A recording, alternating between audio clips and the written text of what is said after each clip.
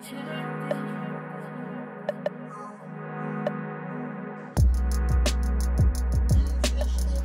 natural blonde, don't know where it's gone now to be honest. I, I couldn't tell you how old I was. I remember the boots that I was wearing. You could change the studs. As a kid, you were buzzing with that. So, yeah, I was I was lucky to have those boots. To be to be fair.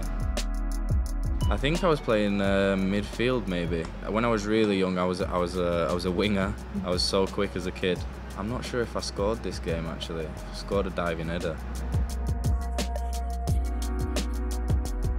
I never even thought I'd play for Barnsley. It was a dream for me to play for for my hometown. So you know to think that I'd move move to here and or even play for England is yeah something that I could never never dream of.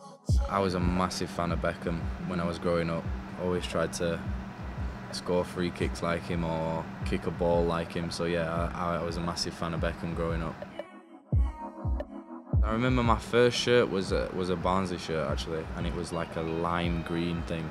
It's like silk. It, it wasn't it wasn't the best thing like looking back now, but at the time I loved it. I remember I remember getting it.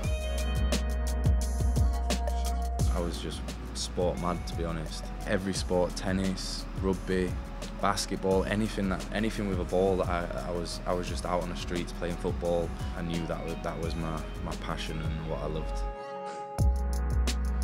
I think it was just cartoons as a kid. I was always watching cartoons. Um, remember when Sky came out? We had all the channels in it. Yeah, it was brilliant. I remember watching. I think it was Castaway. First night we got it with my mum, which was unbelievable film. I was never into music as a kid actually. No, no. Only obviously listened to the radio and stuff when when my parents were taking me to training or driving me anywhere to to go and do any any sports and that was it. It was until I got older that I started to get into into music really. It's kind of weird looking back at this picture now. I've grown up and, and moved clubs and obviously playing on, on big stages and, and things like that. I think it's um, it doesn't seem like it's me, but I know that it is obviously.